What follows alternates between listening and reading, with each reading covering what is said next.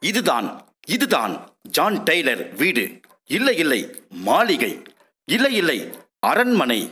தங்கச் சுரங்கங்களை தொடங்கி தங்க வயலை உருவாக்கிய ஜான் டெய்லர் வசித்த இடம் இதுதான். தங்கவயல் மாரிகுப்பம் ஹெட்கர் ஷாப்ட் அருகே சுமார் பத்து ஏக்கர் நிலப்பரப்பிற்கு மத்தியில் மிக பிரம்மாண்டமாக இந்த மாளிகை அமைந்துள்ளது. இது ஜான் டெய்லர் சென்ற பாதை. இதன் இருபுறமும் வழிநெடுக்க வண்ண வண்ண பூக்களின் மரங்கள் இருந்தன. உலகின் பல நாடுகளில் சுரங்கத் தொழில் நடத்தி வந்த ஜான் டெய்லர் தங்க வயலுக்கு எப்போது வந்தாலும் இங்குதான் தங்குவார். ஆயிரத்து எட்நூத்து எண்பதாம் ஆண்டு தங்க சுரங்கங்களை தொடங்கிய ஜான் டெய்லர் ஆயிரத்து தொள்ளாயிரத்து இருபதாம் ஆண்டு இங்கிலாந்து நார்விச் நகரில் காலமானார். இதற்கு இடைப்பட்ட காலகட்டத்தில் அவர் தங்க வயல் வந்த போதெல்லாம் இங்குதான் தங்கினார் உண்டார் உறங்கினார். சிந்தித்தார் பலரையும் சந்தித்தார். ஜான் டெய்லருக்கு பிறகு தங்கச் சுரங்கத்தை ஏற்று நடத்திய அவரது மகன் ஆர்த்தர் டெய்லர் இங்கு தங்கினார். அந்த காலகட்டத்தில் இது தங்க வயலின் ஒரு அதிசயமாக திகழ்ந்தது.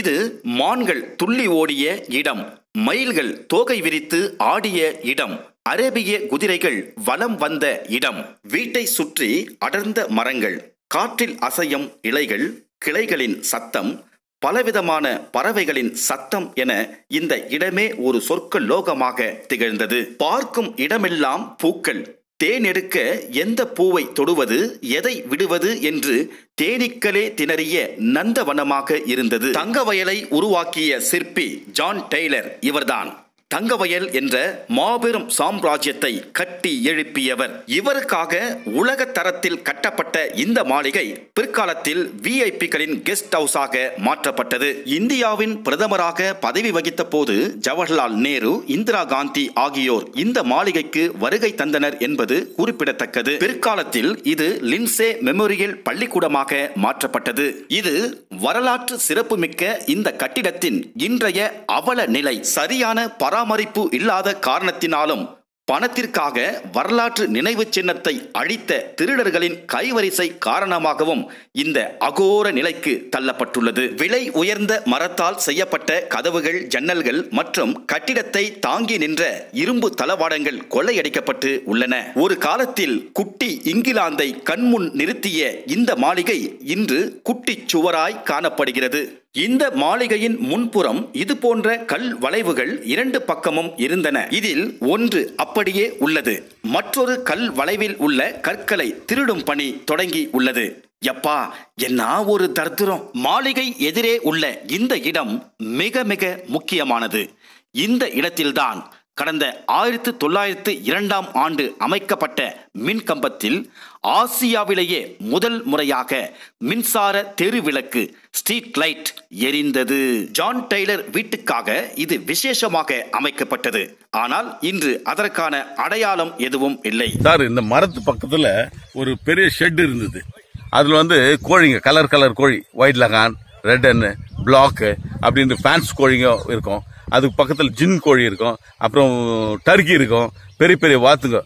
கீஸு கூஸு எல்லாம் இருக்கும். சின்ன வாத்துன்னு எல்லா வாத்தும் அப்படி கலர் கலராக ரொம்ப அருமையாக இருக்கும். அதை கண்காணிக்கிறதுக்கு ஒரு ஆளுங்க அவருக்கு சம்பளம். அதை கண்காணிக்குவாங்க. அதை பார்த்து அவங்க கிறிஸ்மஸ் டைமில் வந்துட்டு அதை நல்லா பல்கியாக வளர்த்து அறுத்து சாப்பிடுவாங்க. ரொம்ப அருமையாக இருக்கும். அந்த கண்கொள்ளா காட்சியெல்லாம் பார்க்கறதுக்கு ரொம்ப அருமையாக இருந்தது. ஃப்ரண்ட்டில் சார் இந்த ஒரு கேட் இருந்தது. அந்த கேட்டு முன்னால் ஒரு பிரம்மாண்டமான ஆலமரம். அந்த ஆலமரத்தில் ஒரு ஒரு பழம் சோப்பை விடும் பாருங்க. ஒன்று ஒன்று ஐம்பது கிராமுக்கு இருக்கும்.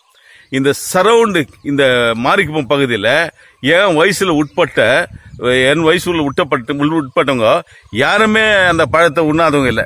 எல்லாம் சாப்பிட்டு பசியாறி இருக்கிறோம் சார் நாங்கள் எல்லாம் அந்த பழத்தை வந்து காலையில் வந்துடுவோம் நாங்கள் எல்லாமே எவ்வளோ பேர் வந்தாலும் நிறைய பழம் கிடைக்கும். அது தேன் பிச்சுக்கா வ- மரம் இருந்தது அந்த அதை எடுத்து சாப்பிட்ருக்குறோம் எல்லாம் நல்ல பசியாறுன இடம் சார் இது. சாதாரண மேல சரவுண்டு கில்பர்ட்ஸ்ல இருந்து கிருஷ்ணகிரி லைன்ல இருந்து அள்ளிக்கடை பகுதியிலேருந்து இந்த ஸ்டேட் லைன் சுடுகாடு லைன் எல்லாமே சேர்ந்து நாங்க என் வயசுல உட்பட்டவங்க அந்த பழத்தை சாப்பிடாதவங்க நான் சாப்பிட்டு பசியாறி நாலா பக்கம் எப்படினாலும் கார் எந்த பக்கமும் வரும். ஆதியில வந்து அவங்க கோச்சில வந்துக்கிறாங்க. குதிரை கோச்சில வந்துக்கிறாங்க குதிரை மேல வந்துக்கிறாங்க. அப்புறம் கார் வந்த பிறகு காரு. இதுல எல்லா இடத்துக்கும் அங்கங்க ஒரு வாட்ச்மேன் துரை எப்படி வந்தாலும் அந்த இடத்துல சக்கு நாங்க ஓபன் பண்ணுவாங்க. அந்த மாதிரி ரொம்ப அழகு மிகுந்த ஜல்லி ரோடு சல் சர்ன்னு வரும் காருங்க வந்துச்சுனாக்கா அந்த இந்திரா காந்தி அம்மா கூட இந்த இடத்துல வந்தாங்க. இந்த இடத்துல வந்து இந்திரா காந்தி அம்மா அங்கே சாப்பிட்டு போனாங்க. கார்டன் வந்து ஃப்ளவர் கார்டனாக இருந்தது. அழகான ரோஸுங்க அழகான சந்தன மரங்க அழகான அழகான காஸ்ட்லி செடி கொடி மரங்கள் இதை பார்த்து ரசிக்கலாம். அப்படியே கண் குளிராத ஒரு- ஒரு நல்ல காட்சிங்க. பழ மரங்க இங்க எந்த நேரம் பார்த்தாலும் கிளிங்களும் மைனாவும் குருவிங்களும் பாட்டு பாடுற மாதிரி கத்தின்னு இருக்கு. அந்த பழங்களை தின்னு மகிழ்ச்சி. அணில் சத்தம் தினமும் கேட்டுன்னு இருக்கும். காலையில ஆரம்பிச்சிச்சுன்னா குயில் சத்தத்துலேருந்து எல்லா இனங்களும் பேர்ட்ஸுங்க எல்லாம் எல்லாம் அனிமல்ஸுங்க நிறைய இருக்கும் அங்க. அழகானது. அந்த கடைசியில அந்த ரோட்ல போகும்போது இப்படி திரும்பி பார்த்தோம்னா கூட இங்க ஒரு பாய் இருந்தாரு.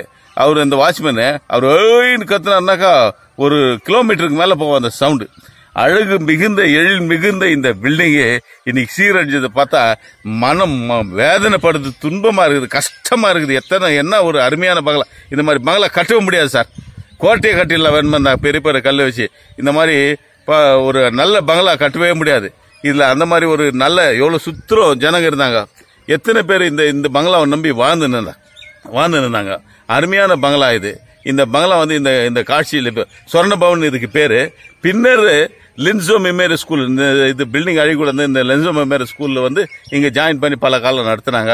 அப்புறம் அவங்க மீண்டும் அவங்க அங்கேயே போயிட்டாங்க. அதுக்கு பிறகு இது சீ சீரழிஞ்சு போச்சு. எல்லாம் காஸ்ட்லி மரம் டீ கூட்டுங்க. எல்லாத்தையும் திருடி கிருடி இதை கண்காணிப்பு இல்லாத இந்த மைனிங்கத்தை நாசம் மோசம் பண்ணி விட்டாங்க. இதை பார்க்கும்போது ரொம்ப வேதனையாக இருக்குது. நாங்கெல்லாம் சின்ன வயசுலேருந்து இந்த பக்கம் சுத்தாடி நாங்கள் வாழ்ந்தது நாங்கள் வளர்ந்தது இந்த ஏரியால இந்த கண்கொள்ளா காட்சிங்க அந்த கண்கொள்ளா காட்சியெல்லாம் நாங்கள் கண்டு ரசித்து ஒவ்வொன்றும் நாங்கள் பார்த்து ரசித்த இடம் இது. அந்த மாதிரி ஒரு நல்ல ஒரு பங்களா இது சார்.